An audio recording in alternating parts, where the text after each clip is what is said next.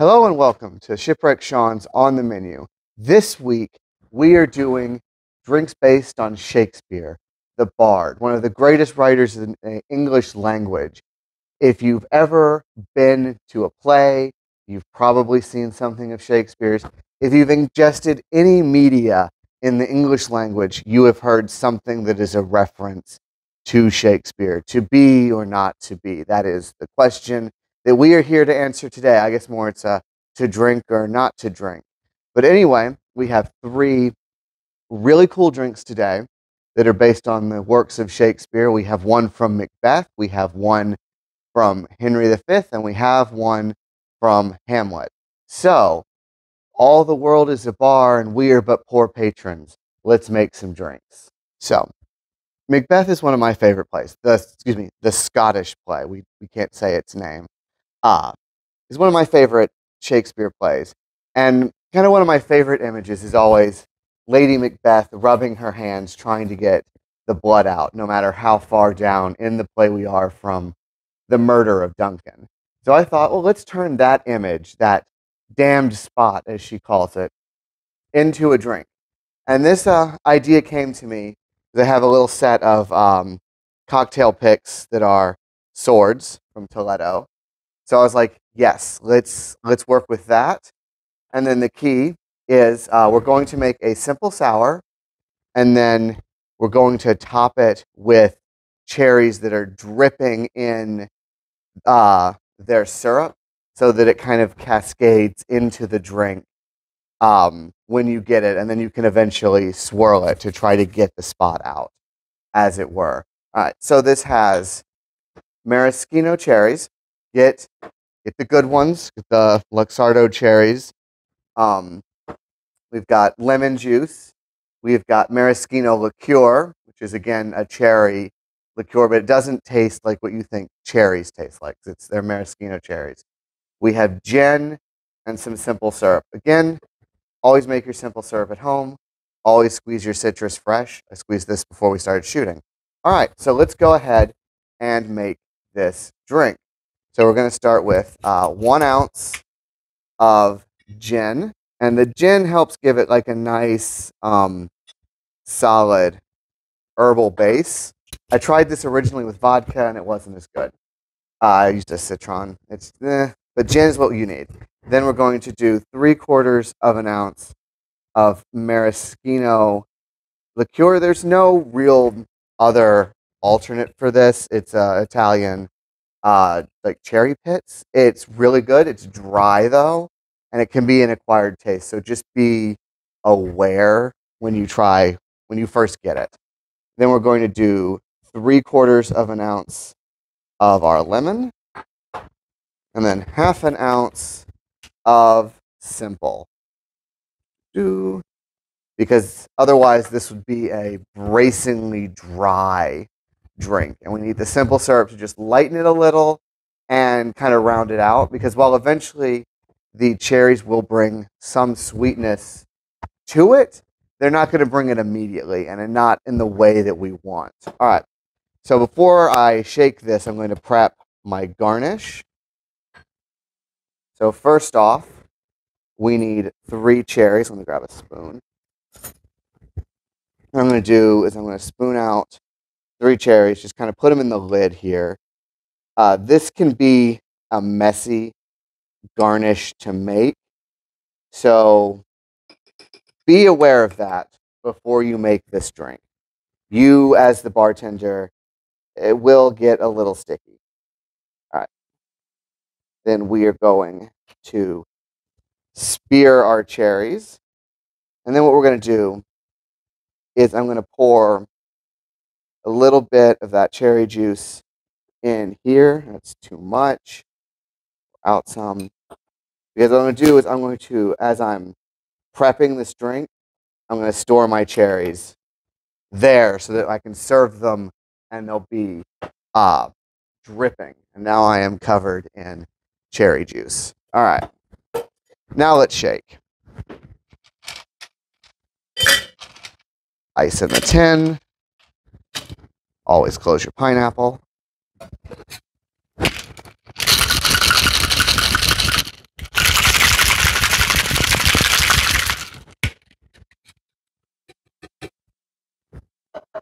Also, when you're choosing your glassware for this drink, you want something that's kind of uh, tall and thin because it needs to be able to fit the cherries over top. So whatever, size it to whatever kind of pick you're using to hold your cherries. Then we strain. So this is not a big drink. And then we top. And there you have a damned spot. As you see, you get that nice kind of dripping from the cherries as they're causing the blood to flow. And then, so let's try it first without adding too much cherry. You get the gin, you get the maraschino. Those are your key flavors. Your syrup and your lemon juice are kind of moderating them. And they're good. It's it's a very refreshing drink. And now let's go ahead and let's stir. And then as you kind of sip this, you'll see that the uh, maraschino cherries, the brandied cherries, start to come through. And you get this much sweeter flavor. So this drink kind of evolves as you sip on it. So there you have a damned spot. Hmm. Wonderful little drink. Henry V has one of my favorite speeches in all of Shakespeare. And if you hear any part of it, you know it immediately. It's the St. Crispin's Day speech. It's the Band of Brothers speech. Um, if you really want a great version of it, uh, go once you're done with this video or pause this video, look up Kenneth Branagh's 1989 film version. You'll find this speech on YouTube. It's brilliant. I love it. It never fails to get me pumped. So, what I thought I would do is I would make a drink that is both, you could make just one serving of it or you could make it as a punch because we few, we happy few, we band of brothers. So, I looked up when St. Crispin's Day is. It's in October, which is when the Battle of Agincourt was fought, which is what Henry V is based on, you know, as much as any of Shakespeare's histories are based on history. So I know I wanted fall flavors for this uh, drink. And it's a little large if you're going to drink it by yourself, but if you want to uh, rise all of the um, volumes of what I give you here, you can to make a punch. So just pick your apple juice, however much, or your apple cider, however much you've got, and then do the math around all of these. But I'm going to, for this, make a single serving because uh, I don't feel like making the whole punch. This is great though, like served in a crock pot. So what do we have? First off, we've got apple cider. Um, I fresh pressed this, but you can get it at the grocery store. It'll be fine. And for anyone who is across the pond, cloudy apple juice is what you're looking for. Then we're going to use Applejack as our base spirit. Get the bottled and bond 100, uh, 50 proof, 100% apple Applejack. This is a great spirit. And if you're not familiar with Applejack, go and buy yourself a bottle. It is wonderful. You'll find it over in the brandies because it's technically an apple brandy. Then we've got apricot liqueur to help give us a little more round sweetness. We've got ginger. We have allspice dram. Uh, again, that's fall in a glass. Um, anytime you're like, what should I put with apple? Allspice dram. If you're making a tiki drink, allspice dram. What I'm saying is if you don't have a bottle of allspice dram, and St. Elizabeth St. Elizabeth's is the easiest brand to find.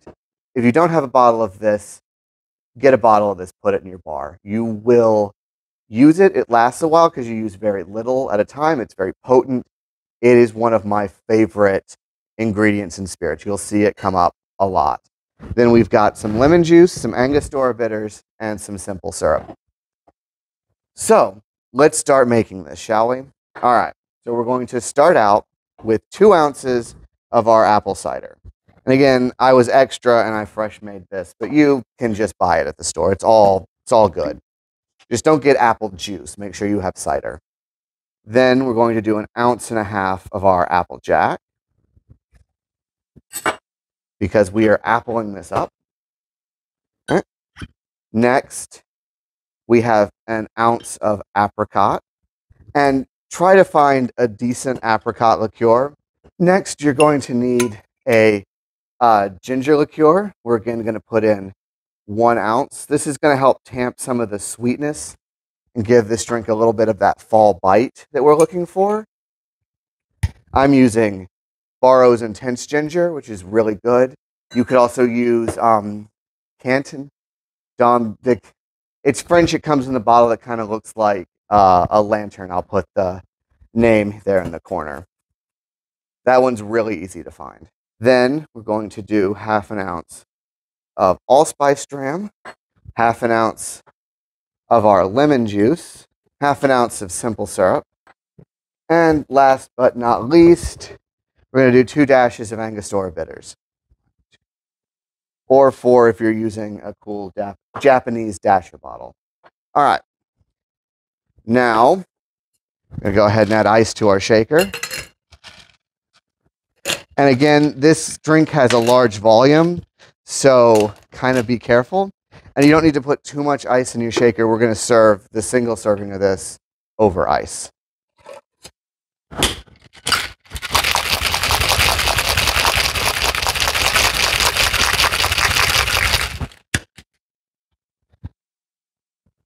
Give it a good shake. And then in a medium sized kind of Collins glass, we're going to go ahead and put a little more fresh ice, which we're going to throw across the bar. Again, always close your pineapple. And we're just going to strain this in.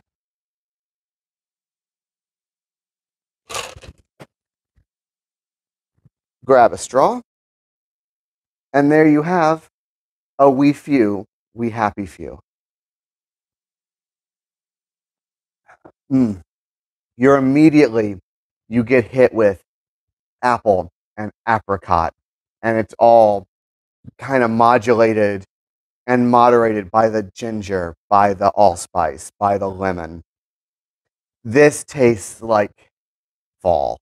It's fall in it's just it's so good. It's just fall in a glass it's simple it evolves as it moves through your palate Mm. I could drink this just just sit here and sip on this. It's so so good.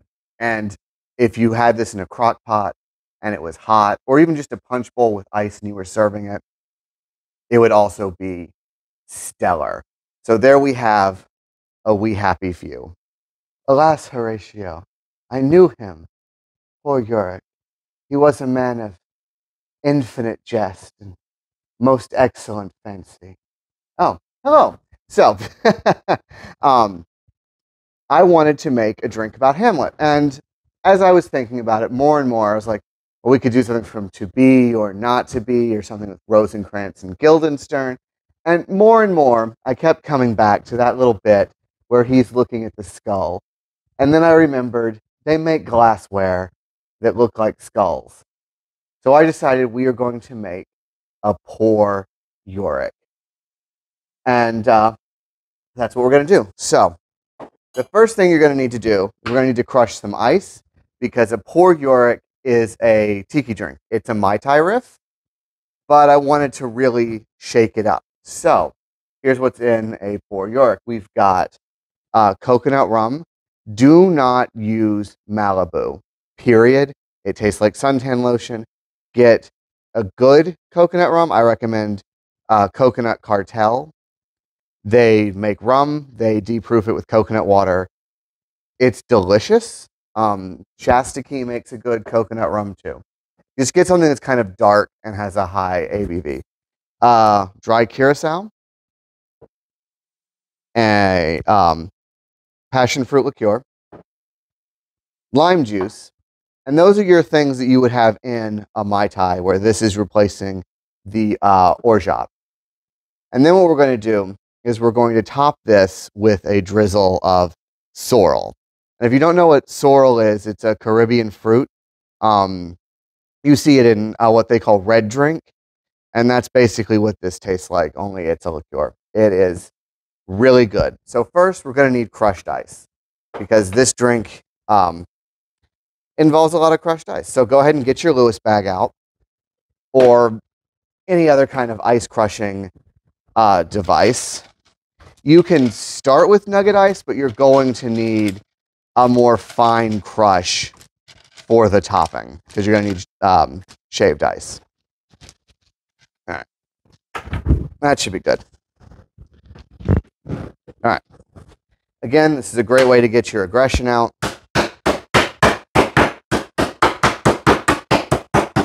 So what we're going to do is we're going to actually uh, pound this ice twice. So first, we're going to get some ice that we're going to put in our tin to shake with because we're going to do a dirty dump here at the end. But we need finely crushed ice. as our topper. Kind of like um, how a mint julep, you put more ice on top of it. All right, so then set your ice aside. So let's go ahead and get our shaker and let's get to building. We're going to start with two ounces of our coconut rum. Then we're going to need half an ounce of our dry curacao. This is less a major flavor and more kind of it's a moderator around. You'll find anything that you use a small amount of is probably there to just kind of help tamp down sweet or kind of bring things out.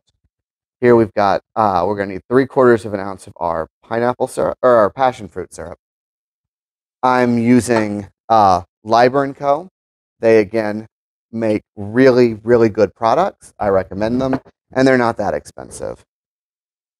Then we're going to need three quarters of an ounce of our lemon juice, lime juice, lime juice, one of these days, I'm going to not mix up my L's and my L's.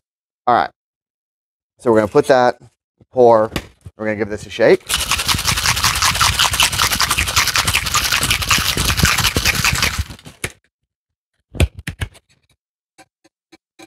All right. And then what we're going to do is we're going to take our fun little skull here. And we're just going to give that a dirty dump. And then we're going to come in and we're going to top our skull with all that shaved ice we had.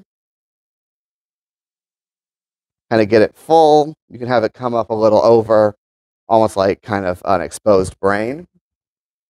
Then we're going to take our sorrel. We need half an ounce. And then we're just going to kind of drizzle that along the top. And you'll see that it's kind of cascading down through the drink. And then we just need a straw. And there you have a pour Yorick. Hmm. Immediately, you're hit with coconut and lime, and then the passion fruit kind of comes in on the back. And as the drink develops, the sorrel comes through. And it's a very distinct flavor. It's hard to describe. Sorrel tastes like sorrel. Um, it's kind of sweet. It's a little punchy. It's really good. So this drink just kind of evolves as you uh, sip on it. So, alas, Horatio, I knew him. Horatio, I knew him. I can speak. So this is the part of the episode where I bring my wife Elizabeth down and uh, she tries the drinks. So first, hon, we're going to start here with a damned spot. So I'm going to set this up for you. Uh, it's out, out, damned spot, out. Ooh. That's aesthetic. I know, right? Wouldn't you be really wowed if you had a drink that was served to you dripping like that at a bar? That's nice. Okay. All right, so give her a whirl. Try it first uh, without the cherries, and then you can put the cherries I in. feel like I'm gonna make a mess if I try it without the cherries. Really tart, fresh, um, refreshing. It's nice. You get uh is it lemon juice? There's lemon juice in there. yeah. Um I'm getting it gin. Gin. Yep. Um, a little herbal. That's from the maraschino. Mm-hmm. And just wash your hands of the murder. That's good.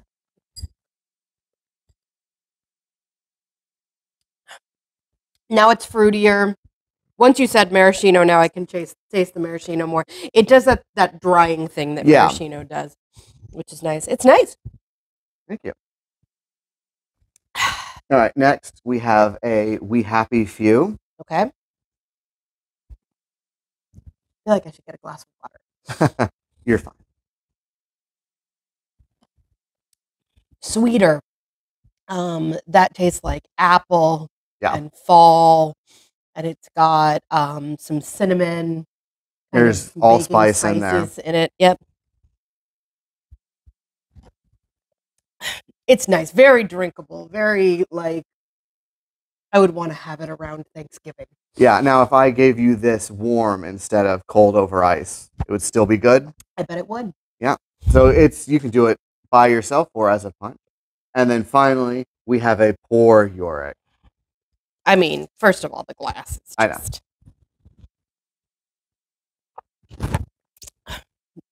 very tiki. Um, I get orange. There's some a little Um, curacao in there, yeah. I get um rum, of course. Uh, little burnt molasses, sugary. You're probably you're getting the coconut from the coconut rum, I think. Oh yeah, once you said coconut, I can taste the coconut too. Um, it's nice. It's not. Sometimes coconut can be really overpowering. This isn't really overpowering. Is there pineapple juice in this? Passion fruit. Passion fruit. Oh, yep. It's nice. You want to drink it by the um, pool. All right. So which one are you gonna take with you? I think I'm into this right now. All right. Well, there you go. That is our episode. Uh, come back next week when we are going to do the games of Remedy Entertainment. So Max Payne, Alan Wake, and Control. See you then. Peace.